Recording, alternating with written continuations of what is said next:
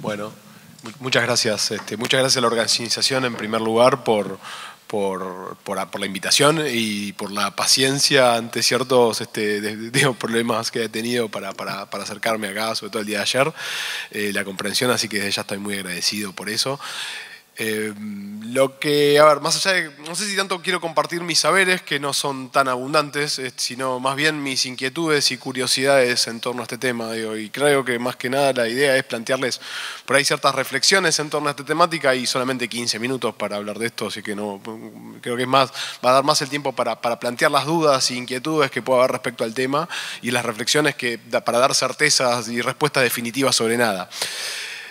Lo primero que me pasa cuando me plantean el hablar de este tema y cuando uno se pone a pensar, sobre todo cuando con estas jornadas hablamos de los derechos humanos, los derechos humanos de los niños y, uno piensa desde la perspectiva del Código Civil y uno siempre ha criticado al Código Civil, siempre se ha criticado al Código Civil de Vélez diciendo que tiene una perspectiva patrimonialista y lo cual que es verdad y que bueno, y estamos haciendo esfuerzos para que esto no sea así, sin embargo uno piensa, que veamos algunos datos de, la realidad de lo que pasa con los derechos humanos de los niños, y tenemos datos de la, encuesta de la deuda social argentina, sobre todo para el barómetro para la niñez, y tenemos que 48% de los niños viven en hogares pobres de ingresos, 52% de los niños no tienen obra social, 22% de los niños no fue al médico en el último año, 45% de los, médicos, de los niños no fue al odontólogo en el último año, 22% de los niños viven en situación de hacinamiento.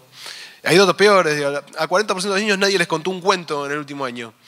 Y ese mismo, un mismo porcentaje no tiene libros, este, el 60% no realiza actividad física fuera de lo que hace en la escuela y el 85% de los niños no hace actividad eh, artística o cultural fuera del ámbito escolar. Y esa es la realidad que tenemos frente a nosotros y lo, que lo primero que nos tiene que mover esto, a, a ver, como por ahí, no, no, quiere decir que lo que hacemos no es importante y lo que nos ocupamos no es importante, sino tomar dimensión de que la realidad, de que el segmento de la realidad que nosotros abordamos o que tenemos que resolver es, muy limitado frente a la profundidad del problema. Entonces, Voy a empezar con, a veces parece como cuando uno se empieza a plantear ciertas cuestiones sobre el consentimiento de actos médicos, parece que está pensando, son, sensaciones muy personales, pero por ahí la sensación de tratar de estar abordando problemas de primer mundo en una realidad este, bastante este, difícil.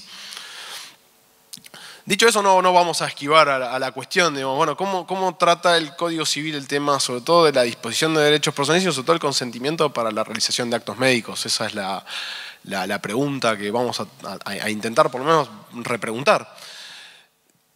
A ver, este, este, tema lo hemos trabajado muchas veces en muchas clases, no, no, creo que se vea bien, espero que, esté a disposición de, las presentaciones, después a disposición del público.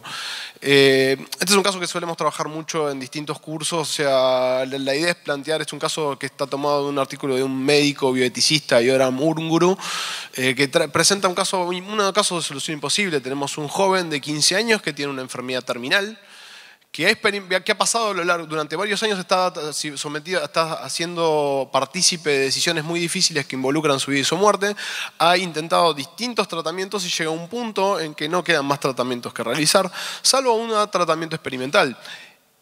El menor, el, niño no quiere consentir el tratamiento y la madre eh, está aferrada a la vida del niño y quiere que lo haga.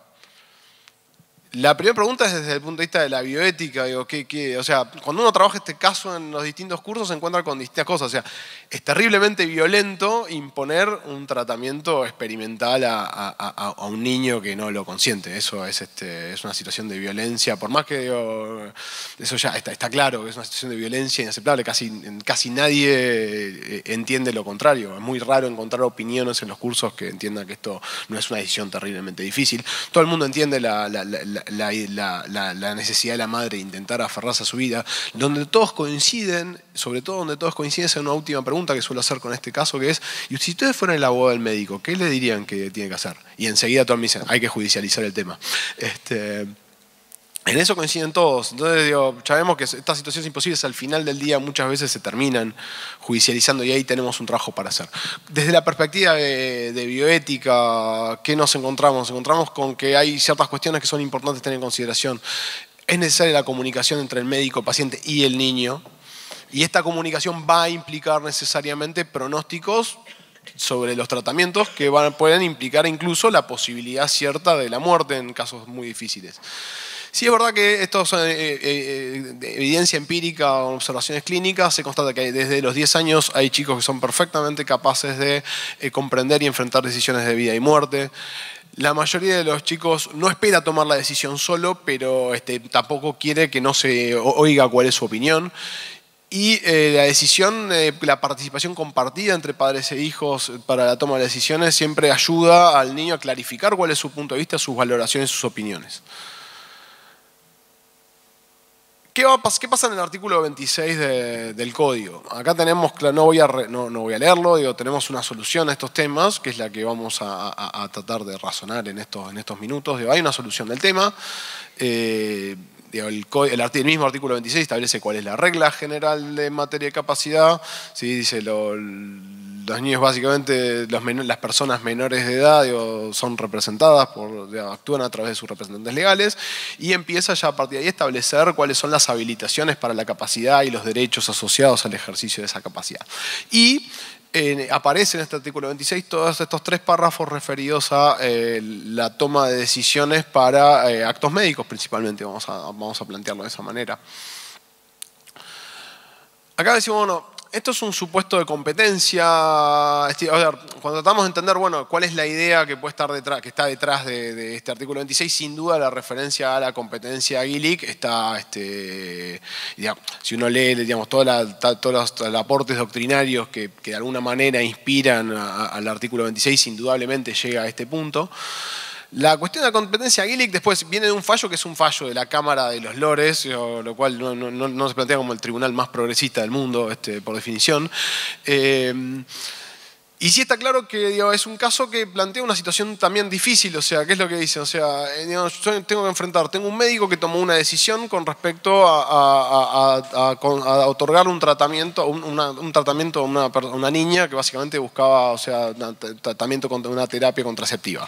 Sí, y lo hizo sin el consentimiento de los padres. La cuestión acá que se puso en juego y sobre todo se ve mucho en el, en el juego es por lo menos en el fallo, cuando uno hace una lectura de los distintos votos, porque es muy difícil entender cuál es la doctrina del caso, en el sentido que hay muchos lores que opinan distintas cosas, pero uno encuentra mucho esta idea.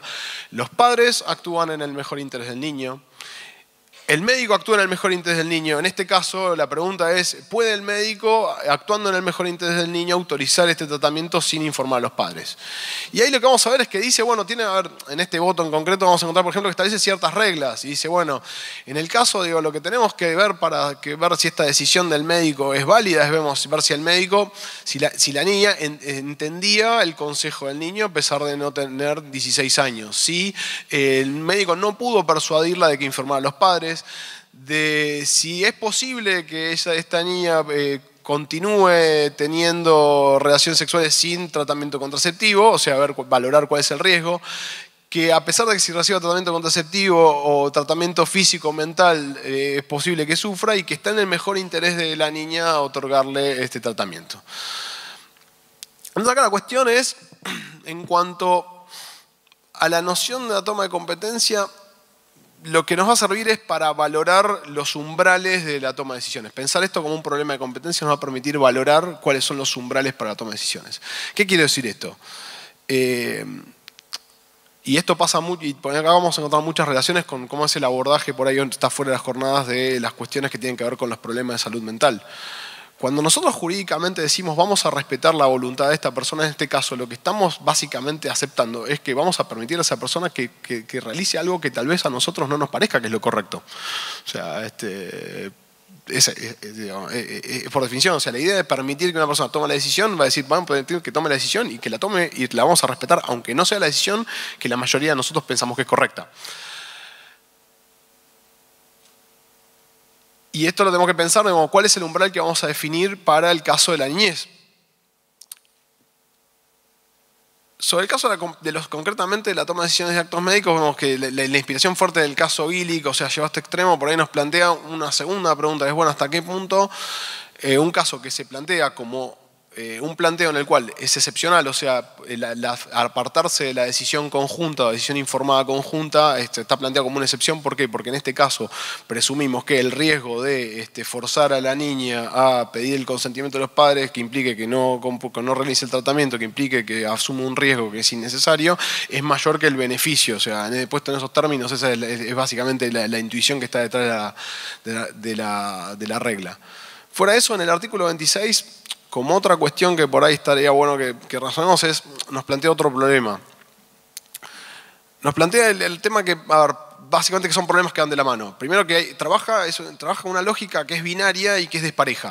O sea, asocia la idea de que un tratamiento es, hacia, para, para, esta fijación de umbral de competencia, establece parejas que son desparejas, invasivo y riesgoso, no invasivo, no riesgoso, y siempre enfocado desde el consentimiento. Y esto es un problema, no, insoluble en la práctica, después están, muchos de ustedes serán magistrados y van a tener que resolverlo, eh, pero invasivo y riesgoso a veces van de la mano y a veces no, no invasivo, no riesgoso, a veces van de la mano, a veces no.